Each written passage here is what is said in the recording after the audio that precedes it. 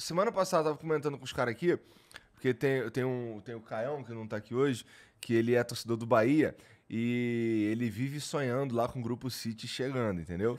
Aí eu, porra, mas aí vai ser o quê? Vai ser Bahia City? Nem faz sentido, tem que mudar pra Salvador City. Aí ele fica pensando, não, pode mudar, não sei o quê. Eu, pô, tem certeza, cara? Imagina que você torce pra um time hoje que a partir do momento que vira a SAF aí, aquele time não existe mais, é outro time.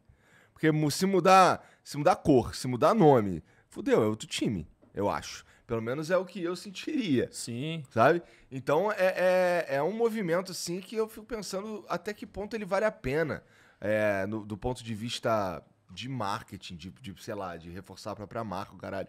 No caso do Red Bull Bragantino é tranquilo, é Red Bull Bragantino, entendeu? Mas aí tu taca ali um vermelho ali. É menos agressivo, mas é, né? Muda é. o escudo, muda a cor. E nós trabalhamos para preservar alguns ativos, é, para transmitir para as pessoas que assim, ó, não é um clube fundado em 2019. É a sequência, é um novo ciclo. Então, o Bragantino, assim como vários clubes, já mudou o seu escudo inúmeras vezes na história. Nós resgatamos isso para trazer, para dizer, ó, não é a primeira vez que muda o escudo, mas é óbvio que o que a gente fez foi uma alteração muito mais radical é parte do modelo da Red Bull para investir no esporte. É um, é, um, é um investimento de branding. A ideia não é, é construção de marca, relação com o mercado, com o consumidor. É, agora, é, preservamos o uniforme preto e branco, preservamos o nome Bragantino. Se você olhar os outros clubes da Red Bull, é o nome da cidade, né? Uhum. Então isso era um receio também. Ah, vai virar Red Bull Bragança Paulista. Então esses compromissos eles estão assumidos por contrato. A gente não tá. pode mexer em alguns ativos que representam essa história anterior do clube. Mas é óbvio que, é, por tudo que o Bragantino viveu nas últimas décadas, já tinha um distanciamento da cidade com o clube. Então, hoje, muito torcedor do Red Bull Bragantino que mora em Bragança tem um clube da capital também. Uhum. E esse é um processo de médio e longo prazo que a gente está trabalhando, com o público mais jovem, para voltar a trazer esse pessoal para o estádio e inverter, né? O cara torce para o Palmeiras, Corinthians, São Paulo, Santos, mas o primeiro time tem que ser o da cidade, tem que ser o da região. E acho que aos poucos a gente está construindo isso. É, assim, o, lá na Alemanha, né? Na, na Áustria foi, é o Salzburg, né? E na Alemanha, Leipzig. Era, era um outro nome completamente diferente. Tem nada a ver com o Salzburg. Era, resgata aí qual era o nome do Salzburg. Cassino de... Salzburg. Cassino, é, então, isso. era um negócio completamente diferente.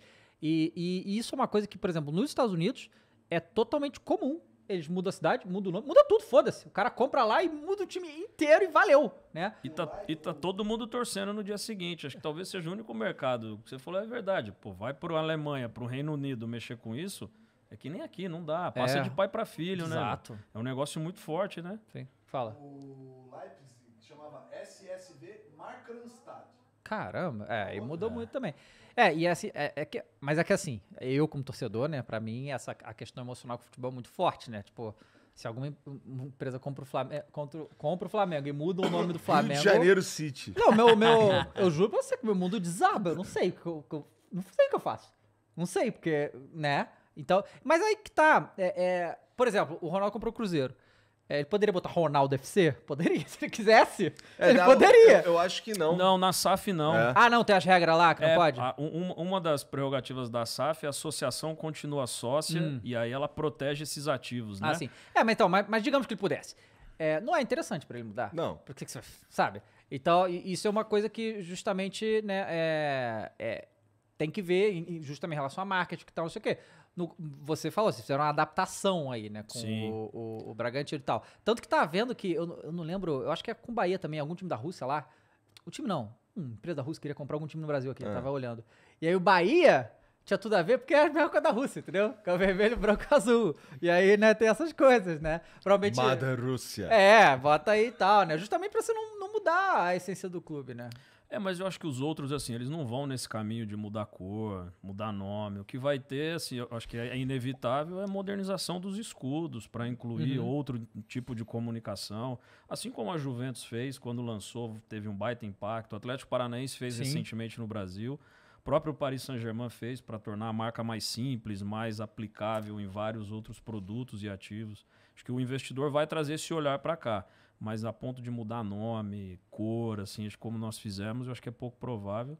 Até porque, de novo, assim, tem, tem, um, ganha, tem um ganha e perde nesse jogo uhum. aí, né? É.